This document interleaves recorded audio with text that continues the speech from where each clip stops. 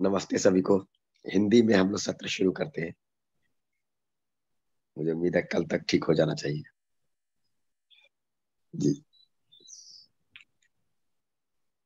तो कल दीदी ने बात रखी थी, उसके संदर्भ में अगर आपका दिन भर के ऑब्जर्वेशन से कोई प्रश्न बना हो, कोई बात आप शेयर करना चाहें तो अभी आप रख सकते हैं।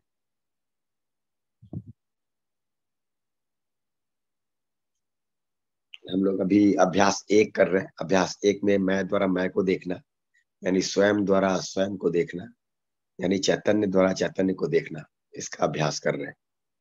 बहुत ही महत्वपूर्ण काम है। जैसा कि पहले भी बात हुई है। तो मैं अपने आप को देखने का प्रयास कर रहा हूँ, और इसकी शुरुआत कल्पनाशीलता को देखने से है। अपनी कल्पनाशीलता को देखने जाते हैं तो दिखता है कि मेरी कल्पनाशीलता में इच्छा है, विचार है, आशा है।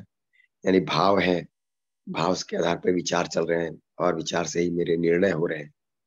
तो भाव इसमें मुख्य मुद्दा है देखने का। तो अपने भाव की ओर ध्यान देना हम लोगों ने शुरू किया। बिना प्रतिक्रिया किए, बिना मूल्यांकन किए, बिना बदले, बिना रोके, बस जैसा है वैसा देखने का प्रयास किया। और ये जो स्टेप वन है, इसको अपने को बनाए रखना है। क्योंकि ये बहुत महत्वपूर्ण स्टेप है। ये अभ्यास एक हो सकता है, अगले कुछ दिनों में पूरा हो जाए। परंतु अपने भाव को यदि सजग होने का अभ्यास अगर हमारा बना रहा तो आप पाएँगे कि ये जो बाकी स्टेप्स हैं, हमारी स्मृति में रहते हैं और हम इसको स्वयं विधि से करते जाते हैं। तो ये कैसे हम अपने भाव के प्रति हर क्षण सजग रहें, ये अभ्यास हमें करना है और ये बहुत गहरा अभ्यास है कि मैं कुछ भी कर रहा हूँ, मैं अपने भाव के प्रति सजग रहूँ। सोते, जागते, उठते, बैठते, काम करते, बात करते है ना? मुझे अपने भाव का होश रहे अगर भाव का होश रहेगा तो उस भाव के स्तर पे हम लोग काम कर पाएँगे। नहीं तो फिर विचारों में बहने लगेंगे। विचारों में इसलिए बह जाते हैं क्योंकि भाव का होश नहीं रहता। अगर भाव का होश हो जाए तो आप आएँगे स्वयं स्फूर्त विधि से उसका मूल्यांकन भी होता है, उसका परिमार्जन करने का प्रयास भी होता है।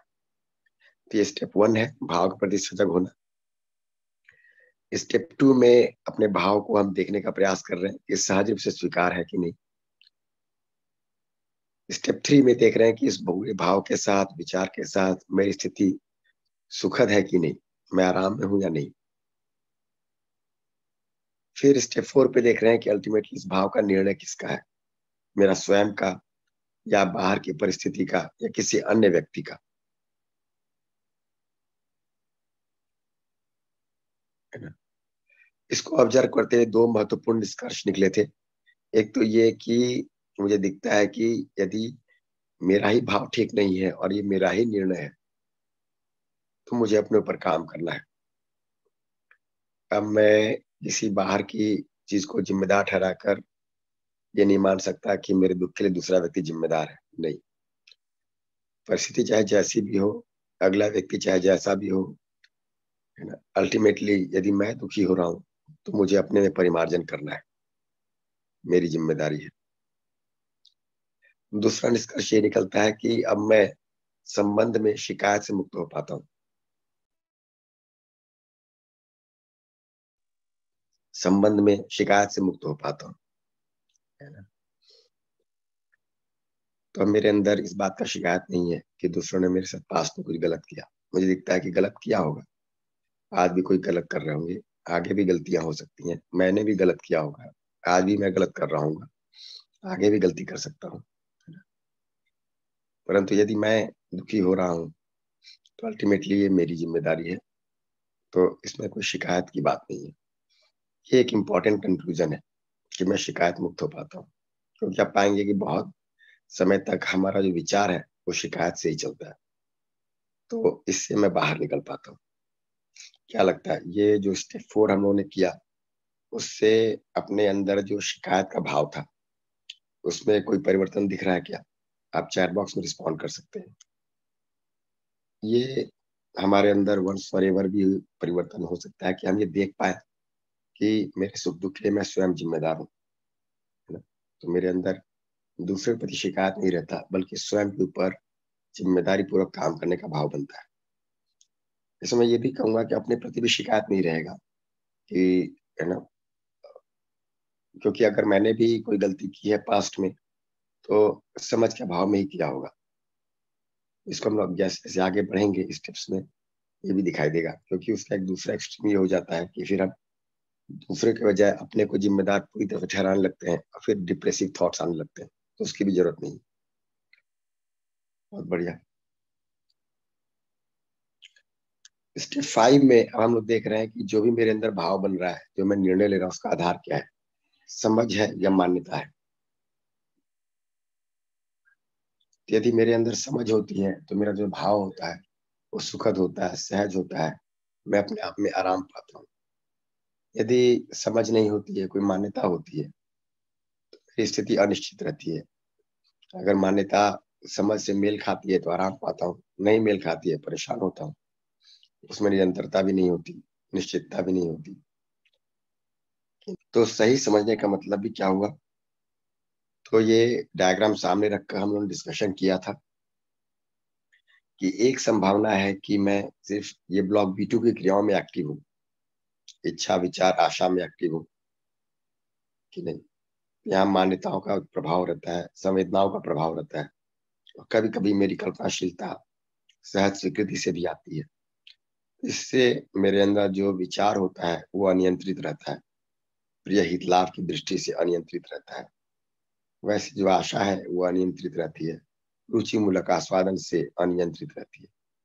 रुचि मूलक आस्वादन मतलब कोई चीज़ मुझे रुचिकर लगती है तो उसकी उसमें आशा रखता हूँ कि वो कैसे बनी रहे, ताकि मेरे अंदर सुख बना रहे। कोई मुझे अनुकूल भाव लगता है तो भी उसके लिए मेरी आशा बनी रहती है कि भाव मुझे मिलता रहे। वैसे दृष्टि में देखे तो प्रिय की दृष्टि, यानी शरीर से अनुकूल संवेदना मिल जाए। हित की दृष्टि, यानी शरीर को अधिक से अधिक मैं पोषण, संरक्षण दे पाऊँ। और लाभ की दृष्टि, कम से कम श्रम करके अधिक से अधिक सुविधा मिल जाए, ऐसी दृष्टि बनी रहती है। और ऐसी दृष्टि जब बनी रहती है तो हम परतंत्र होते हैं। हम, हमारे अंदर जो भाव होते हैं, वो मुझे सहज रूप से स्वीकार नहीं होते। मेरी स्थिति सुखद नहीं होती और मैं ऐसी स्थिति में बना रहता हूँ। एक बार स्पष्ट हो जाए कि अल्टीमेटली मेरी अयोग्यता है। यहाँ डायग्राम में अगर आप देखें तो स्पष्ट रूप से दिखाई देता है कि मेरी अयोग्यता है, जिससे मेरे अंदर सुख की निरंतरता नहीं हो पा रही। तो ये जो ऊपर की क्रियाएँ हैं, वो अजागृत है, उसको जागृत करना है। फिर मैं अपने ऊपर काम करना शुरू करता हूँ। ये जैसे हम लोग वर्कशॉप कर रहे हैं, सुबह का सेशन कर रहे हैं, अपने आप में जांचने का काम हर क्षण कर रहे हैं जी कर देखने का काम कर रहे हैं। इसको क्रमशः करते हुए जो इच्छा के स्तर पर मेरे अंदर भाव बने हुए हैं, उनमें परिमार्जन होता है। तो जो मेरे भाव अभी अनिश्चित बने हुए हैं, उनमें निश्चितता हो पाती है, चिंतन क्रिया जागृत होने के साथ। तो मेरे अंदर चिंतन की क्रिया जब जागृत होती है तो मेरे भाव स्थिर होते हैं, निश्चित होते हैं। उनमें उलझन, द्वंद, उतार चढ़ाव फेर बदल रुक जाता है। कभी संबंध, कभी विरोध, ऐसा नहीं। संबंध का ही भाव रहता है। कभी शंका, कभी आश्वस्ति, ऐसा नहीं। चाहने पे आश्वस्ति बनी रहती है। कभी अधिमूल्यन, कभी अवमूल्यन, कभी अमूल्यन, ऐसा नहीं। मैं ठीक ठीक मूल्यांकन कर पाता हूँ। कभी संबंध को स्वीकारना, कभी रिजेक्ट कर देना, फिर स्वीकारना, फिर रिजेक्ट कर देना अपने अंदर ही अंदर। ऐसा नहीं। मेरे अंदर स्नेह का भाव बना रहता है। कभी ऐसा सोचना कि समझ जाएगा, इसे समझाने का प्रयास करता हूँ। कभी सोचता हूँ कि ये कभी नहीं समझेगा, है ना? ड्रॉप करो इसको, ऐसा नहीं। मेरे अंदर वात्सल्य का भाव बना रहता है। कि अगला व्यक्ति समझना चाहता है, समझ सकता है, समझने का निश्चित कार्यक्रम है। ये भाव मेरे अंदर बना रहता है, वात्सल्य का भाव बना रहता है। इस प्रकार से धीरे धीरे मेरे अंदर क्रमशः भाव तैयार होते हैं। तो अभी आप पाएँगे कि अभी हम जो अभ्यास कर रहे हैं, उस अभ्यास को करते हुए इस, इन भावों को जागृत करने की पृष्ठभूमि तैयार हो रही है। हम इन भावों पे विचार कर रहे हैं कि ठीक भी है कि नहीं, ठीक है तो इसका अर्थ क्या है? हम इसके अर्थ में जाने का प्रयास कर रहे हैं। इस, ये भाव मुझे सहज रूप से स्वीकार है कि नहीं, इसको देखने का प्रयास कर रहे हैं। तो आप पाएँगे जितने भी प्रश्न आते हैं, हम जीने से जुड़े भिन्न भिन्न परिस्थितियों में, प्रसंगों में, है ना? हम इस भाव को जोड़कर देखते हैं कि जीने के इस घटनाक्रम में क्या ये भाव लागू होता है? तो हम लोगों ने बहुत सारे मुद्दों पे बात किया, है ना? कि कैसे इन भावों के आधार पर हमको जीने में समाधान मिलता है? घर में कोई आयोजन है, ठीक? कोई संबंधी के साथ निर्वाह करना है, अपने जॉब के बारे में कुछ निर्णय लेना है, घर में कुत्ता पालना है, नहीं पालना है तो इनमें से हर एक मुद्दे पे हम लोगों ने इन भावों को जोड़कर देखने का प्रयास किया। तो इन सबको करते हुए क्या होता है धीरे धीरे हमारे विचार सेटल होते हैं और हमारी चित्रण क्रिया विकसित होती है कि अब हम अपने जीने के पूरे कार्यक्रम को स्पष्ट रूप से और देख पाते हैं। फिर उसके मूल में जाते हैं तो जो मौलिकता है चित्रण की, भाव सहज स्वीकृत भाव, वो स्पष्ट होते जाते हैं। तो अब हम धीरे धीरे चित्रण से चिंतन की ओर जाने के लिए काम कर रहे हैं। है ना? ये जितना जितना हमारे चिंतन चिंतन में भाव स्पष्ट होते हैं, उसी के साथ बोध स्पष्ट होता जाता है। यानी वो इकाई स्वयं में क्या है, इसका हमको बोध होता जाता है। ये पशु क्या है, पक्षी क्या है, मनुष्य क्या है पेड़ पौधे क्या है इनके साथ जीते हुए, इनके साथ अपने भाव को जांचते हुए, इनकी स्वयं में व्यवस्था स्पष्ट होती जाती है। तो ये काम हमारे अंदर होता जाता है। फिर धीरे धीरे और विकसित होते हैं, और जागृत होते हैं। करते करते हम ये जितनी भी क्रियाएँ हो रही हैं पूरी प्रकृति में, इसके मूल में क्या है, आधार में क्या है, उसको देखना शुरू करते हैं। तो हमें शून्य के होने का पता चलता है। और फिर कैसे शून्य में ये पूरी प्रकृति संपृक्त है। ये बात हमें स्पष्ट होने लगती है। और किसी पॉइंट पे जाकर पूरा अस्तित्व अस्तित्व के रूप में दिख जाता है। ये करने का काम है। तो अभी हम लोगों ने स्टेप फाइव में जब देखा कि मेरे निर्णय का आधार क्या है, सही समझ या कोई मान्यता समझे बगैर तो कई बार पता लग गया कि मान्यता कोई ना कोई काम कर रही है। इनफैक्ट जब तक ये चिंतन, बोध, अनुभव जागृत नहीं होते मान्यताएँ बनी ही रहती हैं। क्योंकि मैं कोई भी संबंध को पहचानूँगा, उसके पीछे कोई ना कोई मानना होगा। अगर जानना नहीं हुआ है तो मानना रहेगा ही रहेगा, और वही मान्यता बन जाती है, और हमको ड्राइव करती रहती है। तो इस बात को अपने आप में स्वीकारने की ज़रूरत है कि जब तक हमारे अंदर ये ब्लॉक बी वन की क्रियाएँ जागृत ना हो जाए, मान्यताएँ बनी ही रहती है, और हम जीना मान्यताओं के आधार पर ही कर रहे होते हैं। मान्यता ठीक भी हो सकती है, गलत भी हो सकती है बट है ये मान्यता ही। और जब तक मान्यता के क्रम में है, सुख की निरंतरता नहीं है। जब तक मान्यताओं में जी रहे हैं, स्वयं में विश्वास नहीं है, संबंधों में विश्वास नहीं है। है ना? और चलता ही रहता है। जी, योगिता जी।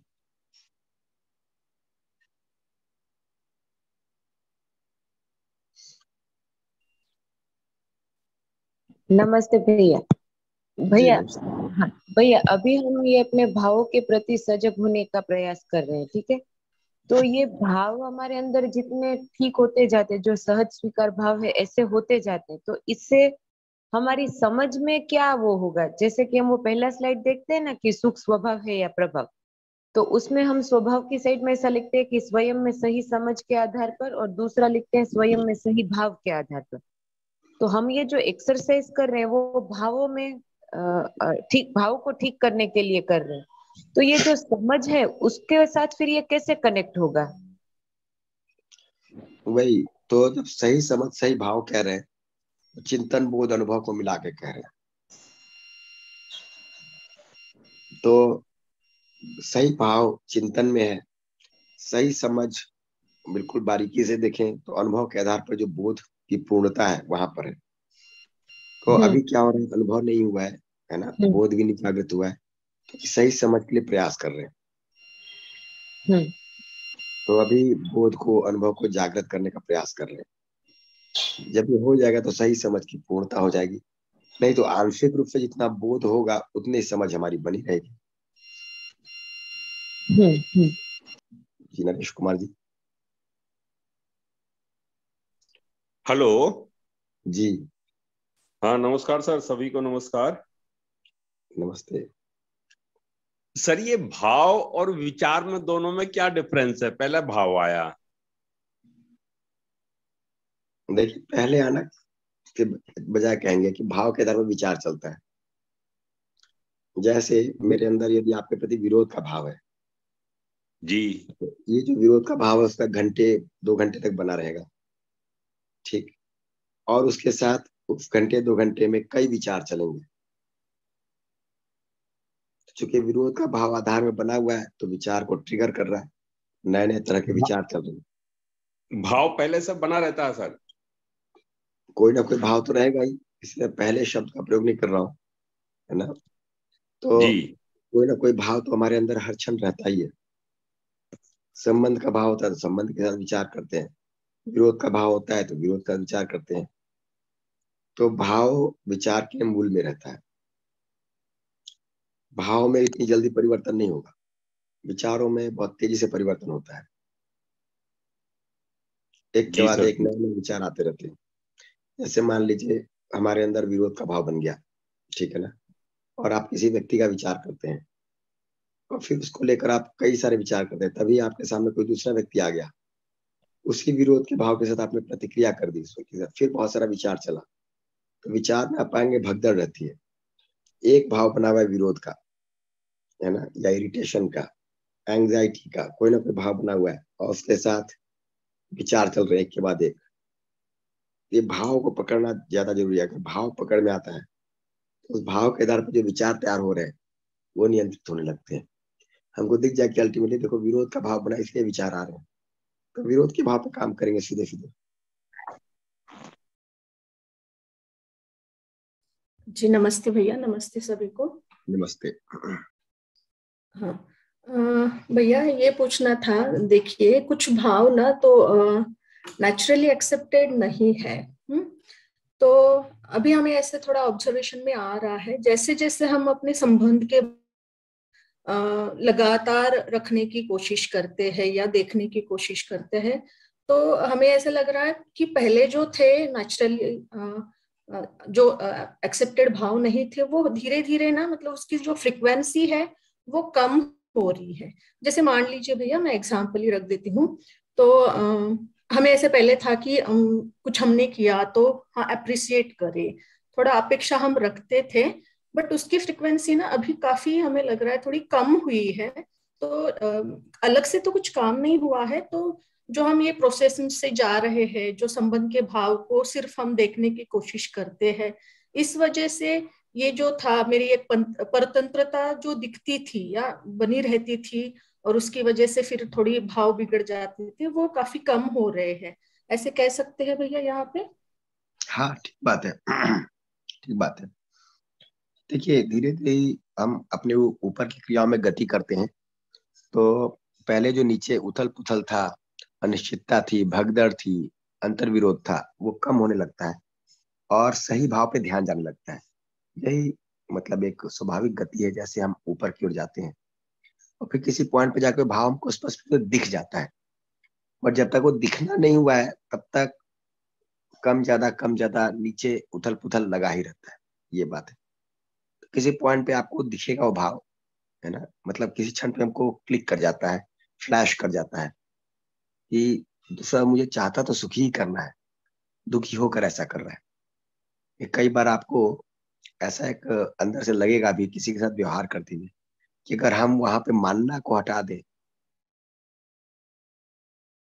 यानी कोई मान्यता ना रखे वहाँ पे, बस ऑब्ज़र्व कर रहे हैं दूसरे के व्यवहार को तो आपको कुछ चाहना स्पष्ट हो लगती है। इसको प्रयोग पूरा करके देखिएगा। जी बट ये ठीक है जो आप कह रही जी। ठीक है तो आज चर्चा यहाँ पे रुकते हैं। बहुत अच्छा। सभी को धन्यवाद। सभी को नमस्ते।